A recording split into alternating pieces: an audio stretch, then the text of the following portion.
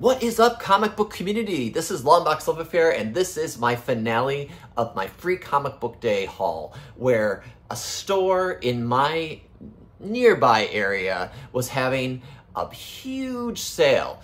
$1 to $3 a book, and you just had to spend the time to dig through their uncirculated, unsorted stock. So that is like a hunter's dream. That is a picker's dream. So uh, they intersperse keys throughout, as well as there was just value in there anyway. They weren't pulling out books and cherry picking or anything like that. I'm sure they, they might have looked through it at the time being, but I think their stock has just gotten so big that they wanted to move it. So they had so many long boxes in this room, and there were people digging everywhere, and I spent three hours. So uh, this, I showed two videos before this one. I showed the $1 books and the $2 books. These are the $3 books. So literally they look through your stack and they're like, okay, this is one, this is a two, this is a one, this is a $3 book. Uh, it didn't matter if it was worth more than $3, you still got it for one of those prices. So case in point, I'm just gonna jump into this haul. I found a book I love. This is one of my favorite X-Men books. It is not near mint. Let's just put that out there. But it is worth more than three bucks. Uncanny X-Men 135. Dark Phoenix Saga, my sweet spot. Awesome Phoenix crushing that logo. Uh, this is a beautiful John Byrne cover and I couldn't have been more excited to find it. So I was happy to add another copy into my collection. In the one and two dollar hauls, I had some spectacular Spider-Man books that tied into this one. This is the better condition of all of those, is the one of the early appearances of Spot, issue number 99. So this is going to pick up steam as the Spider-Verse movie starts to come out because this is a main antagonist.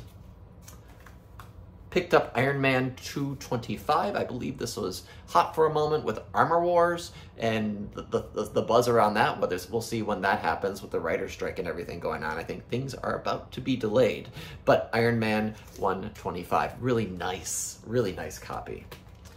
Also picked up a nice copy of Fantastic Four 272. And forgive the bags, these are all have been in storage, so I haven't rebagged anything. Early Nathaniel Summers, uh, I believe, is it Nathaniel Summers? I'll, I'll put a correction down below if not. So this book was about 30 bucks. I picked it up for three. A bunch of Star Wars books there. That was really cool to find. And I'm sure I passed on some value, but I knew some of the books uh, just from other YouTubers and, and, and folks on Instagram. So I picked up uh, Star Wars Tales of the Jedi number one, the Dark Horse, but I picked up three. There were three copies there. So uh, I do have some Star Wars. I'm not a die-hard Star Wars fan, I have to admit, but I have picked up some of the recent stuff that's come out. Also picked up Star Wars Dark Empire, the second series, number one. I think yeah, just, this just fell in there. I'm not sure if that's a good deal or not. I gotta look into it. Also on the Star Wars train is Star Wars The Rise of Kylo Ren number two, and this is the third printing, black and white cover. And then Star Wars 20, I think this might be the origin of Black Krrsantan. Two copies, gotta take that posted off. Two copies of it. It's cool to find this book, X Factor number five.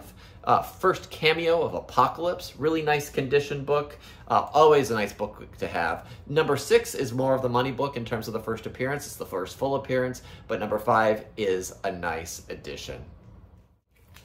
Avengers 160. My buddy Mark, who does comic hunting, he says he picks this book up every time he sees it. I have yet to own one. Now I do. I think this is the debut of the new Wonder Man costume. I don't know if Wonder Man joins the team or not at this point, but uh, it's a little bit of a creepy cover. Ants all over the place, but, you know, uh, that's not the reason for the book. I had two copies of this in my hand, and I think I put one back because I don't think it's in this pile. Maybe it is. Uh, it might have been a bad, oh, a, a, bad condition one, but this is the first Hellcat, uh, Avengers 144. Low grade copy of Marvel Team Up 15. This is an early Ghost Rider uh, appearance, a, a Ghost Rider team up with Spider-Man. This book has been fetching some money, but again, it's lower grade. Three bucks, you can't go wrong. Another co copy of Iron Man 255 or 225. Really nice copy of Sleepwalker number one. I am a Sleepwalker fan.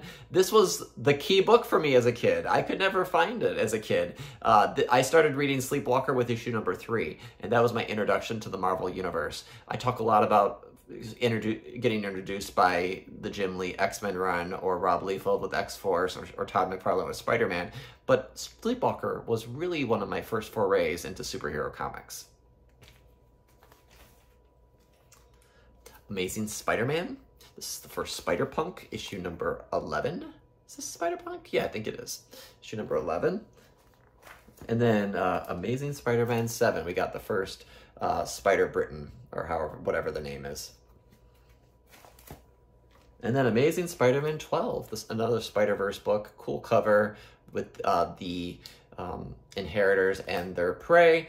Uh, this is the first of the Leopardon, I think that's how you say it, first appearance of that. And then just for the heck of it, Free Comic Book Day Amazing Spider-Man from 2007. I think this was the beginning of a brand new day, if I'm not wrong. I could be wrong. I could be wrong. I have to double check on that. I bought Dr. Fate number one. I bought three copies, $3 each. Uh, you know, that's actually less than cover price if you really think about it. Cover prices, oh, actually, it is cover price. I bought these for cover price, $3. Um, and you know, I, I, I forgot that Doctor Fate was in the movie, uh, in the Black Adam movie, and that movie, I don't know if it did so well, and who knows what's happening with the DCU. So uh, these are more, let's hold on to them and see what happens. I got some really nice condition X-Men. So the first Jim Lee on X-Men, X-Men 248, and The Mutant Massacre 2010 cool book. I remember this buying this in Canada for like 20 or 30 bucks as a kid. That was a big deal for me. It's a big deal for any kid to be spending 20 bucks on a comic book. I don't know much about this next book, but I know it's old.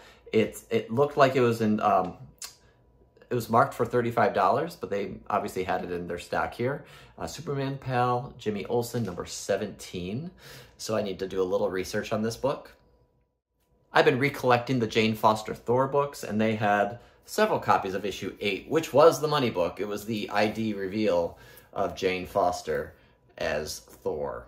So, really cool book to have. Second U.S. appearance of Captain Britain uh, in Marvel Team Up 66. Marvel Feature 12 with Thing and Iron Man featuring the Blood Brothers. This ties into an early, early Thanos appearance. So um, it is second Blood Brothers, but it ties into that. I can't remember if Thanos is in this book or not, but this book was worth something for a little bit.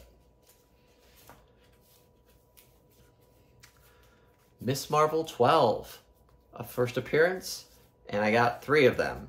So we'll see. This is I'll hold on to and see what happens with Miss Marvel early Thor, early Firelord, second or third appearance of Firelord, Thor 226. Look how small Galactus is in this. Uh, I may own this already. I am not sure. I have to double check. And it has a value stamp in it, and it's intact. That's nice. Thor 617, first appearance of a Kid Loki.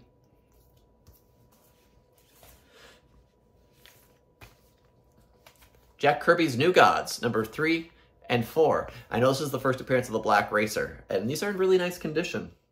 Avengers 195, the cameo of the Taskmaster. Mighty Avengers 1, another key team appearance. Two copies. Secret Avengers 19, the debut of the Mr. Knight business suit uh, costume for Moon Knight. And I found one, two, three, uh, we'll see what happens with Moon Knight. I'm a little skeptical on that, but I didn't love the show, actually. I kept falling asleep during it. but I, I do like the business suit costume. I like that type of key. New X-Men 129, second appearance of Fantomex, and first cover. Omega the Unknown, number one. This is a character that Marvel brought back from obscurity recently. Uh, so uh, they haven't done anything since the Darkhold story. So we'll see if any of that happens. The last set of books I'm going to show, uh, are, I'm surprised I found them in the bins. I found them towards the end of my hunting. I was exhausted, I was done. Uh, but I found a whole nice run of uh, Bronze Age Warlock. So the Power of Warlock 3, 4, 6, seven, actually two copies of seven, eight, another copy of eight, and 15, the last issue of the run. I didn't see any Jim Starlin run of this, which starts at issue 9. Uh, and then the last book I'm going to show, which is one I need to look into, is Brave and the Bold 86. Deadman, Superman, Neal Adams. Really cool Neal Adams cover. I'm pretty sure that's Neal. Um, he did a lot of Deadman stuff. He did Super or Batman back in the day. But really cool book. I was excited to have that. It has a sticker of five bucks on it. It might be worth five bucks, but I'm, I'm you know, it's kind of a cool one to have. I ha- I would like to have some of the early Deadman books. I do have his first appearance. Um, so that is it. That is Free Comic Book Day in a nutshell. And here's the hint. Here's a spoiler or a teaser for you. I went back on day two. I went back on Sunday. The store was open. They had their annex open, uh, which they won't always have it open, but they had the sale running. And I found a, just over a half a short box that I have at my feet that I'm going to show off. So stay tuned for that. I, I will film that at a later date. But uh, thanks for watching this video. If you haven't watched the other two, the dollar and the $2 finds, those are incredible finds. Those are not typical dollar books. Those are not typical $2 books. And to find these books for basically less than cover price was pretty amazing. So kudos to To Be Continued Comics. I appreciate them uh, and the sale that they're doing, and, and they do this every so often. So if you're in the area, check them out. They have a great back issue selection, regardless of the sale or not. They're, they're they have a great selection and they're at uh, local conventions too so uh, if you need details hit me up in the comments and I'll, I'll, I'll, I'll tell you where to find those conventions so thanks again take care hit that subscribe button hit that thumbs up and I'll see you next time. All right, bye bye.